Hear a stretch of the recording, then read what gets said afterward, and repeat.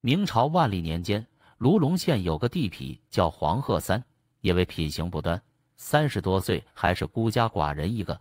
此人平日游手好闲，不务正业，暗地里专干些偷鸡摸狗、坑蒙拐骗的勾当。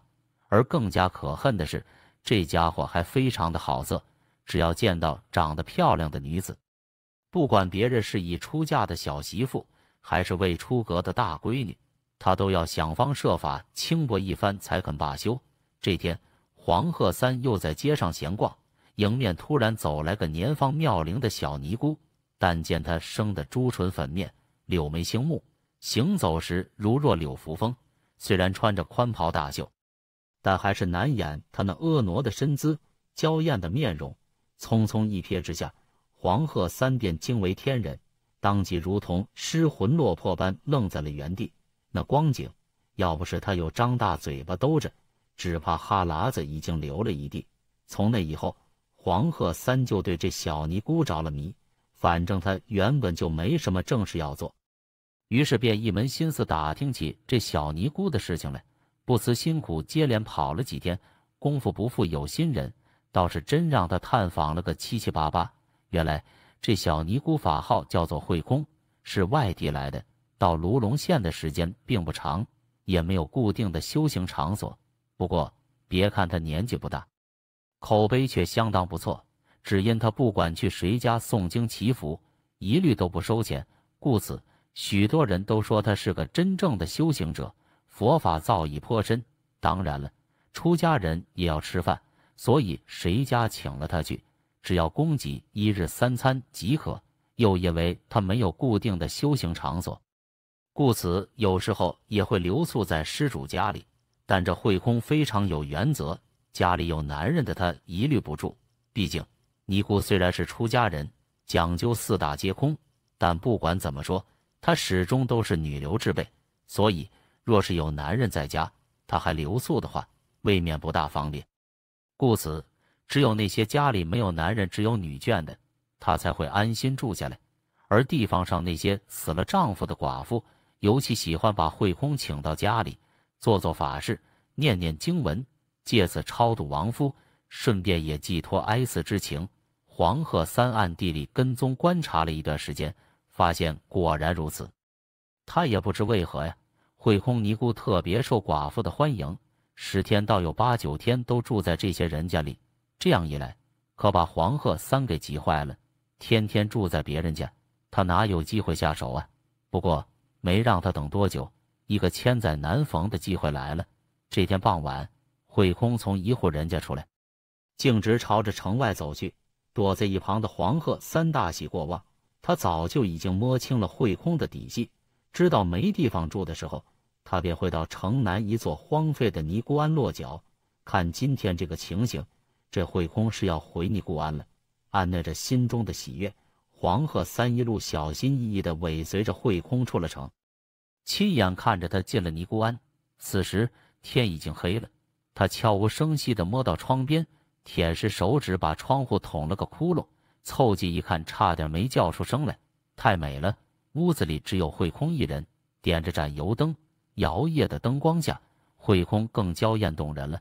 此正是灯下看美人，越看越精神。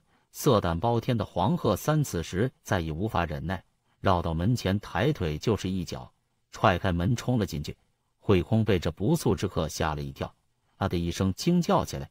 再看这黄鹤三，只见他闲着脸皮道：“小师傅莫要惊慌，我不是坏人，来找你是有事相求。”听他这么一说，慧空稍稍心安，连忙双手合十道：“出家人慈悲为怀，施主有什么事但说无妨。”黄鹤三一脸坏笑的看着慧空，随口应道：“小师傅啊，这事儿还得赖你，我的东西被你偷去了，你可知道？”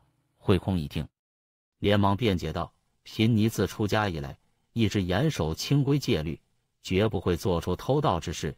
施主是不是有什么误会啊？误会？怎么会误会呢？你不知道吗？自从见到你第一面，我的魂儿，我的心都被你偷走了。”黄鹤三嬉皮笑脸，边说边朝着慧空走去，接着又道：“小师傅啊，你如此貌美，为你我是茶饭不思。相思成疾，眼看就要活不成了，还望你发发慈悲，与我同宿一晚吧。说着，便不由分说扑了上去。慧空哪肯轻易就范，自然是拼死抵抗。怎奈身娇力弱，哪里敌得过五大三粗的黄鹤三？当即便被他压在身下，动弹不得。而这黄鹤三为非作歹的事没少干，这勾当便是他的专长。轻车熟路，没费什么劲，就将慧空的裤子给扒下来了。可等他往下一瞧，当即就愣住了。你猜怎么着？这慧空竟然跟他一样，是个实打实的大老爷们。黄鹤三简直不敢相信自己的眼睛，只觉得脑子里嗡的一声，胃里翻江倒海，恶心的不行。见他愣神，慧空瞅准机会，一脚将他踹倒在地，连忙又将裤子提了上来。顾不得屁股摔得生疼，黄鹤三慌忙从地上爬起来，一溜烟跑了出去。到了家里，黄鹤三连骂了几句晦气，躺在床上翻来覆去睡不着，心里直犯恶心。这倒也不是他矫情，试想一想，换你突然发现自己心心念念、垂涎欲滴的女人竟然是男的，只怕你也比他好不到哪儿去。黄鹤三越想越别扭，越想越憋屈。可想着想着，他就觉得不对劲了。要说这慧空既然是个男人，那他应该去当和尚啊，为何男扮女装当起了尼姑？仔细一琢磨，就明白了，这是打着幌子骗色呢。一想到他每天住在那些俊俏小寡妇家里，黄鹤三由最初的恶心变成了强烈的嫉妒，心里不由咒骂道：“好你个男扮女装的假尼姑，那么多小寡妇被你糟蹋！”简直气死我也！看到这，千万别以为这黄鹤三突然就正气凛然了，他这单纯的就是眼红。很快，眼红变成了深深的嫉恨。次日一早，天刚蒙蒙亮，怒火攻心的黄鹤三便不管不顾，径直跑到县衙告官去了。这有人告官，知县胡一辉自然要升堂审理。只见他端坐公堂，一拍惊堂木，问道：“堂下所跪何人？”你又因何事状告何人？黄鹤三忙应道：“回老爷，草民黄鹤三，我要告那花尼姑。哎，不是，我要告那花和尚慧空。这黄鹤三的臭名，胡知县早就听人说过，晓得这家伙是个地痞流氓。当下又见他语无伦次，便有心要借题发挥，惩戒一番。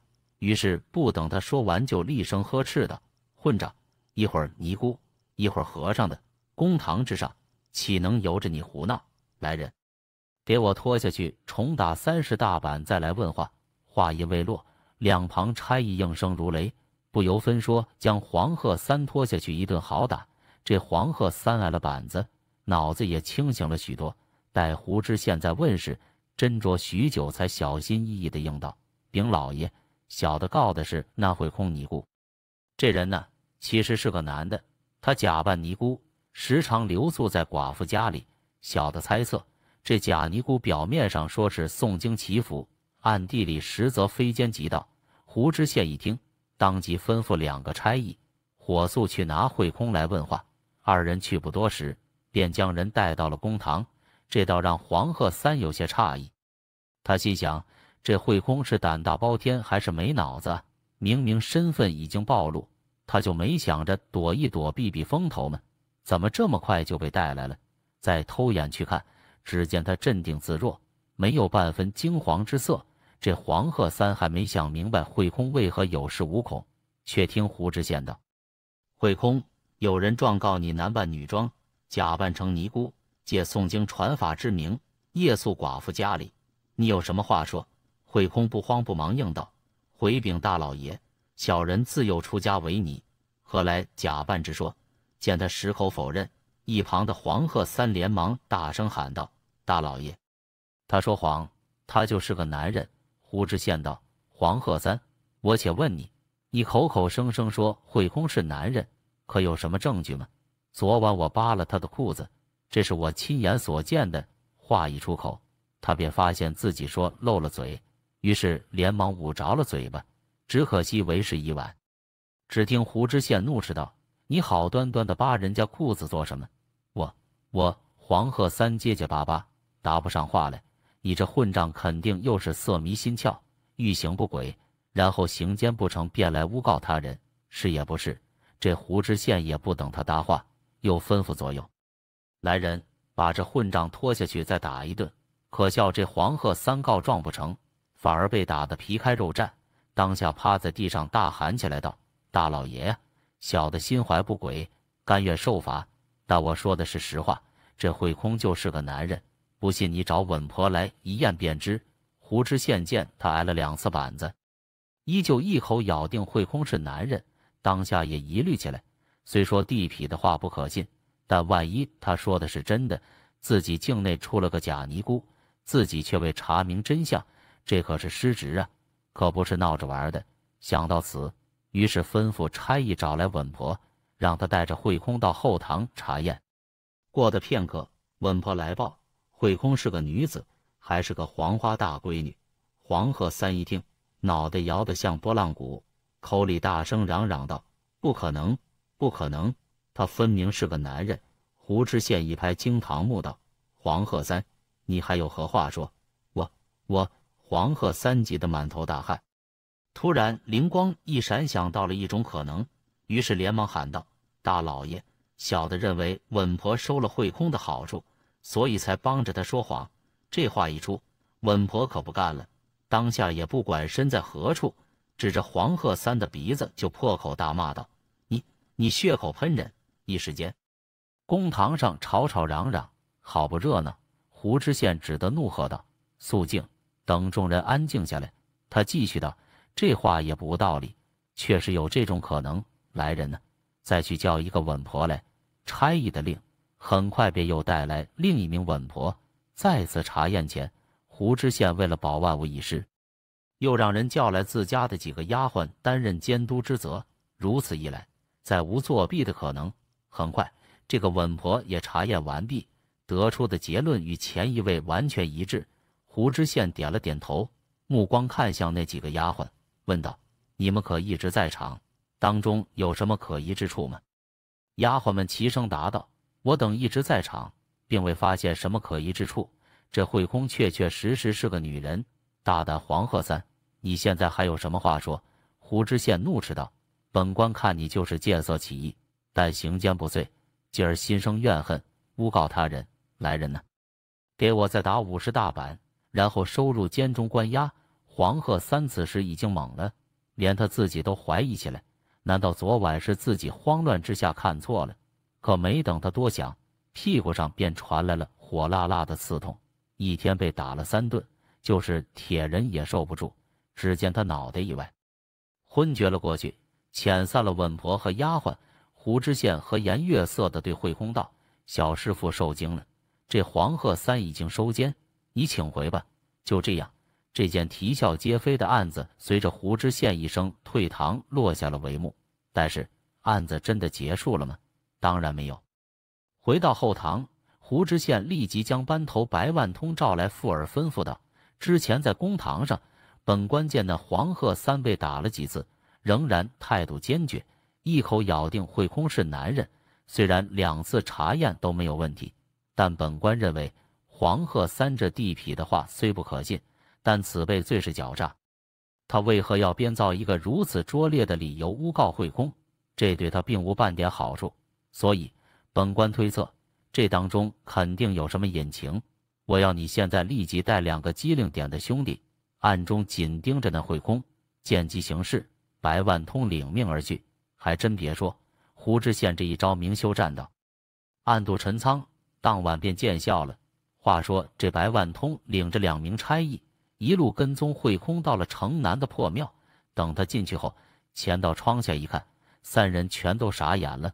屋里竟然有两个慧空。只听其中一个道：“哥哥，我们还是赶紧走吧，这骗得了一时，骗不了一世啊。”另一个则咬牙切齿道：“，妹妹所言甚是，但那黄鹤三实在可恶，坏了我的好事。”我无论如何也要将他碎尸万段，才可罢休。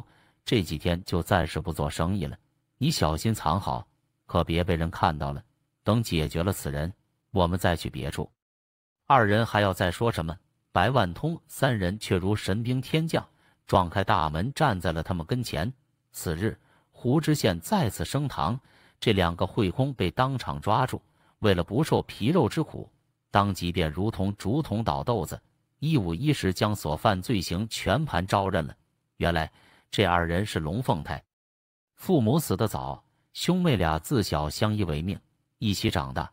到了成年后，这当兄长的便暴露出贪淫好财的本性，于是通过威逼利诱说服妹妹和他一起剃了光头。假扮成尼姑四处骗财骗色，每当被人察觉时，就如同这次被黄鹤三撞破一样，他便将妹妹推出去，任你如何查验，他都是个实打实的尼姑，所以总能瞒天过海，化险为夷，案情水落石出，真相大白。胡知县暗中捏了一把汗，若不是自己多了个心眼，险些让这恶贼逃出法网。最后，慧空因假扮尼姑。祸害良家妇女多达百人以上，被判了个秋后问斩，此正是罪有应得。而其妹虽然是从犯，但实际是被其兄长以亲情蛊惑，并加以胁迫，故此胡知县网开一面，只是将他关卖为奴，留了他一条性命。